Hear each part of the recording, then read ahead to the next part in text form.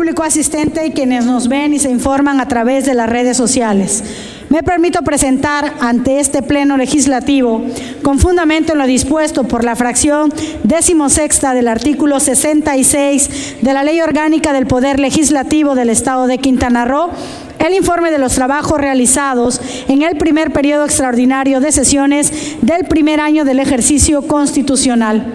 En este sentido, hago referencia a la aprobación por parte de esta honorable legislatura de la iniciativa por la cual se deroga el artículo séptimo transitorio de la Ley de Ingresos del Estado de Quintana Roo para el ejercicio fiscal 2020, atendiendo al reclamo ciudadano en el sentido de no generar estímulos fiscales en detrimento de la recaudación hacendaria.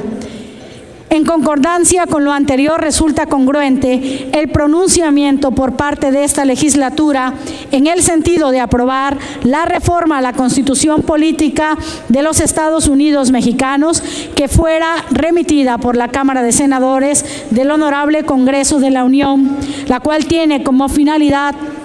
prohibir en nuestro país la condonación de impuestos. Por ello, reconozco el trabajo de los diputados y diputadas que integran esta décima sexta legislatura y su compromiso y apoyo en la atención de los temas prioritarios para los quintanarroenses, los cuales fueron desarrollados en este periodo extraordinario. A todos, muchas gracias.